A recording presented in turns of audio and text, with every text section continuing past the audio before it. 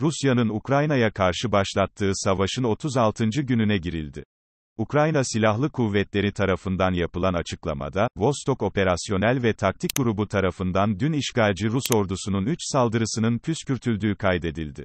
Açıklamada, yaşanan çatışmalar sonucunda 200 Rus askerinin öldürüldüğü, 7 adet tank, 2 adet BTR, 11 adet BMP, 1 adet BBM, 11 adet topçu, 4 adet çok namlulu roket atar sistemi, 9 adet at, 1 adet insansız hava aracının imha edildiği kaydedildi. Ukrayna Silahlı Kuvvetleri Birleşik Kuvvetler Operasyonu tarafından ise Rus ordusunun 5 saldırının püskürtüldüğü açıklandı. Çatışmalarda, Rus ordusunun 10 adet tankı, 18 adet zırhlı, 13 adet otomotiv teknolojisi, 15 topçu sisteminin imha edildiği kaydedildi. Ukrayna Hava Savunma Birimleri tarafından ise 1 adet savaş uçağı, 3 adet insansız hava aracı ve bir seyir füzesinin vurulduğu belirtildi. Ukrayna ordusu, Rus ordusunun 59. Panzer Alayı Komutanı Yarbay Bespalov'u Harkov bölgesinde imha etti.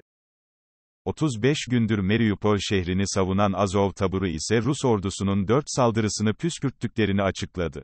Azov taburu, Mariupol düşmeyecek. Ukrayna düşmeyecek dedi. Ukrayna Savunma Bakanlığı, Rusya'nın Ukrayna'ya karşı tam ölçekli silahlı saldırganlığının devam ettiğini açıkladı. Rusya Federasyonu Silahlı Kuvvetleri'nin bireysel birimlerinin Kiev ve Çernihiv bölgelerinin topraklarından kısmi olarak geri çekildiği aktarılan açıklamada, düşmanın 150. motorlu tüfek bölümünün 163. tank alayında önemli miktarda hasarlı ekipman bulundu. Düşman, hasarlı ekipmanın Donetsk bölgesinin geçici olarak işgal altındaki topraklarına, daha fazla restorasyonu için traktörlerin yardımıyla taşınması olasılığını göz önünde bulundurmaktadır. Düşman önemli kayıplar vermeye devam ediyor denildi. Rus ordusunun 83. Hava İndirme Tugayı'nın 200 askerinin öldürüldüğü ve askerler için tören düzenlendiği aktarılan açıklamada, Belarus Cumhuriyeti'nin kendi kendini ilan ettiği liderlik, Rusya Federasyonu Silahlı Kuvvetleri'nin birimlerini, bir havaalanı ve ulaşım ağını ve ayrıca seyir ve balistik füzelerin fırlatıcılarını barındıracak yerleri barındırmak için toprakları engelsiz bir şekilde sağlayarak Ukrayna'ya karşı savaşa katılmayı inkar etmeye devam ediyor. Aynı zamanda, uluslararası yasal düzenlemelere uygun olarak, saldırgan olarak hava sahasını, topraklarını üçüncü ülkeye saldırmak için veren bir ülke olarak kabul edilebilir. Ayrıca Belarus Cumhuriyeti, Rus işgalcilere kendi topraklarında tıbbi tesislerin ağını kullanma fırsatı sunuyor. Böylece, son 24 saat içinde, Gomel bölgesindeki yerleşim yerine, değişen derecelerde yaralanmalara sahip çok sayıda Rus askerinin Ukrayna topraklarından gelişi kaydedildi denildi. Rusya Savunma Bakanlığı Sözcüsü Igor Konashenkov, Rus askeri birliklerinin askeri operasyonlarla birlikte hava üstünlüğünü yakalayarak aynı zamanda yüksek hassasiyetli silahlarla Donbas'taki sözde yönetimleri özgürleştirmeye yönelik gerekli koşulları sağladıklarını dile getirdi.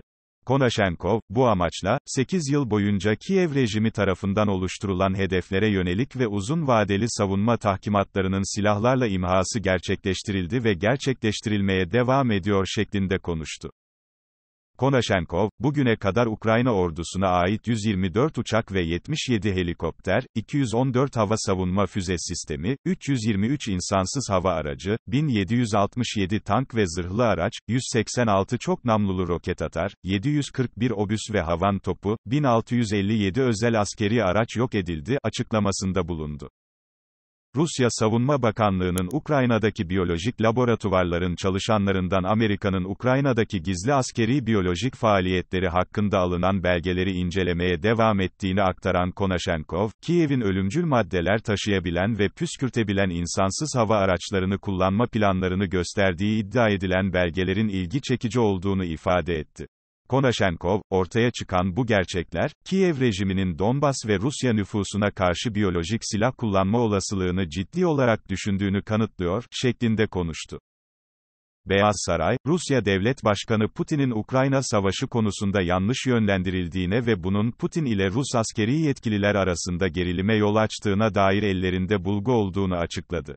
Beyaz Saray İletişim Direktörü Kate Bedingfield, Beyaz Saray'da düzenlediği günlük basın toplantısında, Amerikan basınında yer alan, Amerika'nın elinde Putin'in yanlış yönlendirildiğine ilişkin istihbarat bulunduğuna dair iddialara yanıt verdi.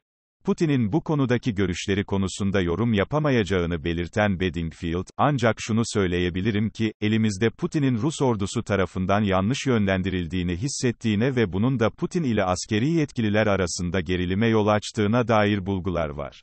Putin'in Rus ordusunun ne kadar kötü performans gösterdiğine ve ekonominin yaptırımlardan ne kadar kötü etkilendiğine dair yanlış bilgilendirildiğine inanıyoruz, dedi.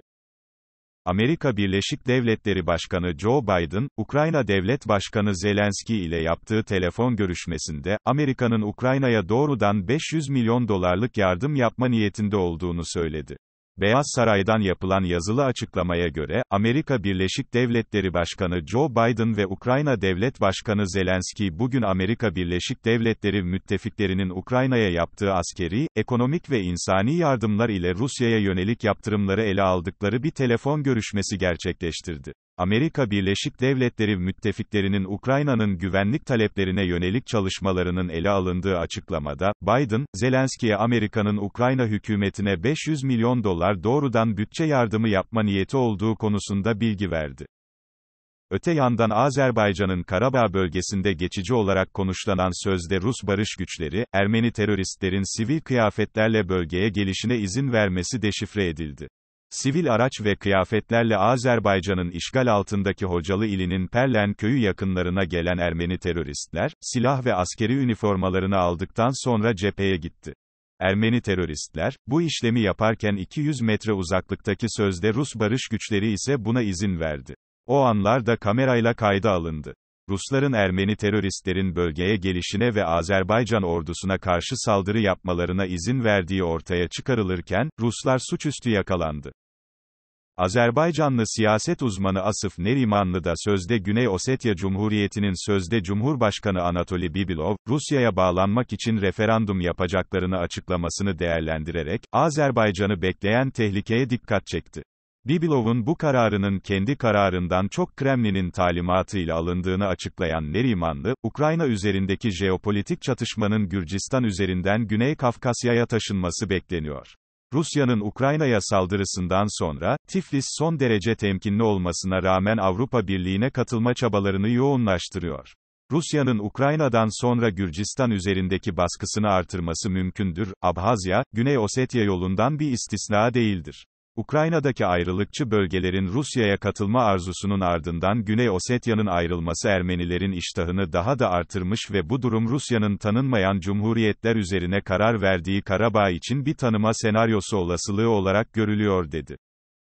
Karabağ'da, Donbas senaryosunun Sovyet sonrası alanın diğer ayrılıkçı bölgelerinden daha zor olduğunu ifade eden uzman, Türkiye'nin güvenlik garantileri var ve Ankara'yla yüzleşmek Moskova'nın isteyeceği son şey.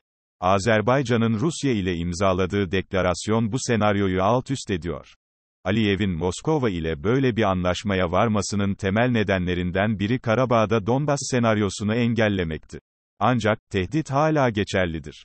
Türkiye faktörüne ve Moskova ile bilinen anlaşmaya rağmen, sorunun kısa vadeli çözümü ayrılıkçılığın ortadan kaldırılmasında yatmaktadır dedi.